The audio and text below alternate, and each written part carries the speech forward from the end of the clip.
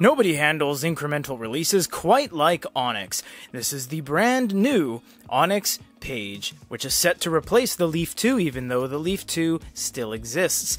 This one has an octa-core processor versus a quad-core, more RAM, and a bigger battery. It also weighs more at 195 grams versus 170, 185, and it is the exact same body construction with the same dimensions, so let us get into it right now.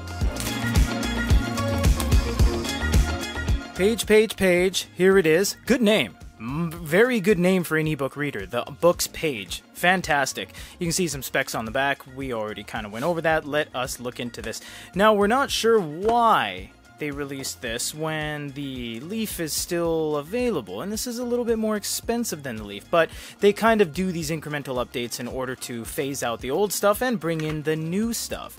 You get a USB-C cable, you get a SIM card removal tool, which is for the SD, but it's more commonly known as the SIM removal tool, but it's the door removal tool. You get your documentation in the box right there. That's everything that comes in the box. Let's look at the unit itself because this is is all new, kind of.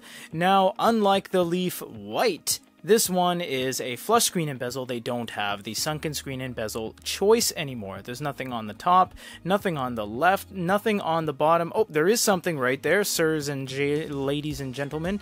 There is the power button, and then on the side, you know, it's kind of subjective because which way am I holding it? Am I holding it asymmetrically like this, in which case that's the side. If I'm holding it in congruency to the logo right there, well then that's the side and this is the bottom. Either way, on this side, everybody, is the door. You get a USB-C and you get twin speakers. You know what? Actually, I think that's only one speaker. You can see through right there, but these all look blocked off except for this one little hole right there. I think actually that's a microphone and this only has one speaker. Or there could be two speakers in here. We'll have to dive in a little bit more in the review. You get USB-C as we said right there. Let's turn it on for the first time. How do you turn it on? Oh, yeah, right there. This is one of the first times it's on the bottom slash side. It's usually here or here or there, or oh, okay, well, if I flip it over and be a left-handy, I guess it's exactly where it should be.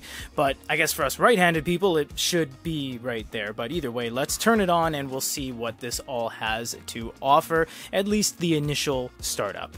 So we just skipped everything because we just wanted to show you guys starting this up for the first time. It looks very much like the Leaf and very much like everything else Onyx makes so far, but we will have to get into a full review to see how this is any better. And remember, this is twice as fast in terms of a processor on paper, how it's been applied to the real world and the UI elements, and the overall experience is completely different than what is on paper, but on paper, this is twice as fast as the Leaf, hence it is a little bit more moo-moos. You gotta rub together, but this should get you done. It has Google Play Store, it has a storage, it has lots of onboard storage, 32 gigs with an SD card. You have the store, you have the library. We got to go through all this and turn Wi Fi on and everything like that. But for now, this is everything that comes in the box with a brand new, beautifully named Onyx Boox page.